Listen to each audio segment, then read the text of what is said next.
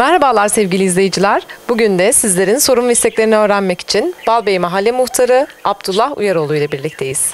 Merhabalar. Öncelikle sizi tanıyabilir miyim? Merhabalar, hoş geldiniz. Benim ismim Abdullah Uyaroğlu. Balbey Mahalle Muhtarıyım. 2009 yılında mahalle sakinlerimizin teveccühüyle seçildim. Hala görevime devam etmekteyim. Yalnız bizim mahalle sıkıntılı bir mahalle. Turizmin başkenti Antalya'mızın tam ortasında, kalbinde yer alan Balbey Mahallesi. Biraz da tarihinden bahsedeyim. Küçücük. 1485 yılında Malkaçoğlu Bali Bey var. Hani bu filmlere falan konu olan. O Balbey Camisi'ni yaptırıyor. Hemen şu az ileride. O cami yaptırdıktan sonra çevresinde ilk Türk mahallesi oluşuyor. Sit alanı olduğu için zaten birçok soruna çözüm bulunamıyor. Bunun dışında altyapı sorunu olabilir, daha farklı şeyler olabilir. Sorunları var mı mahallenin? Sit alanı olmasının dışında. Tabii tabii sorunları var. Şöyle var. Mesela bu dönemin belediye başkanı Bekir Kumbul zamanında, Sayın Bekir Kumbul zamanında burası merkezi altyapı sistemini, e, foseptik eskiden şey vardı ya, zerzemin tabir ettiği ediliyordu böyle 3-5 metre kazıyorlardı. O pis suları oraya akıtıyorlar. Şimdi onlar iptal oldu. Burası modern bir merkezi sisteme kavuştu mahallemiz.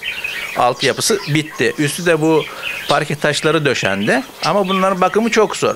Peki halk size rahatlıkla gelebiliyor mu? İletişiminiz nasıl? Sorunlarını rahatlıkla dinleyebiliyor musunuz ve size ulaştırabiliyorlar mı?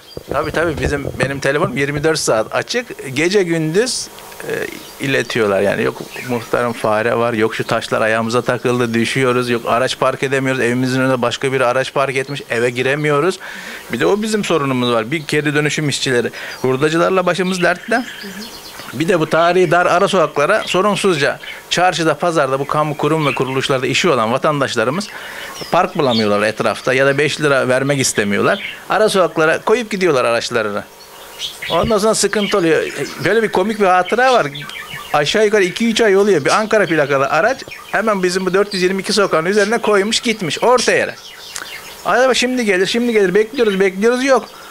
Plakasını aldım, emniyete bildirdim. Emniyet aracın sahibini buluyor. Adam aracını koyduğu yeri kaybetmiş. 6 saattir ben aracımı arıyorum diyor. Şaka gibi ya gerçek. Belediyeden ya da üst mercilerden bir proje var mı? Evet şimdi bizim mahalle Muratpaşa ilçemizle yani 52 ilden büyük Muratpaşa ilçemiz gerçekten süper bir ilçe. 56 tane de mahalle var. Muratpaşa ilçemiz en şanssız mahallelerden bir tanesi de Balbey. Bir tane de bizim komşu mahalle var arkamızda o Andızlı Mezarlığa yakın Tağıl Pazarı mahallesi. Sıkıntımız büyük. Dediğiniz gibi bu geri dönüşüm işçileri var. Açık hava otoparkı haline gelmiş mahallemiz var. Yıkılmak üzere olan yani hayati tehlike arz eden evler var. Bunları biz defalarca yetkililere söyledik. İşte yetkililer bugün olacak, yarın olacak diyor. Ev sahiplerine ulaşamıyorlar falan. Bayağı bir sıkıntı oluyor. En son tabii 56 mahalle içinde olduğum için Muratpaşa Belediye Başkanı Sayın Avukat Ümit Uysal'a gittik. Başkanım dedi ki yani sizin dedi mahalle sit alanında olduğu için özel bir durumu var.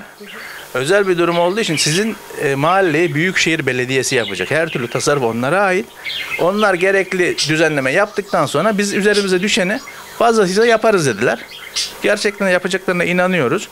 Evet sevgili izleyiciler, bugün Balbey Mahallesi sorunlarını görüşmek için mahalle muhtarımız Abdullah Uyaroğlu ile birlikteydik. Baş- başka bir günde, başka mahallede görüşmek üzere, hoşçakalın.